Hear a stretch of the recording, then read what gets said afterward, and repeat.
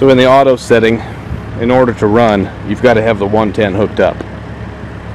Whereas in the manual setting, you don't need it.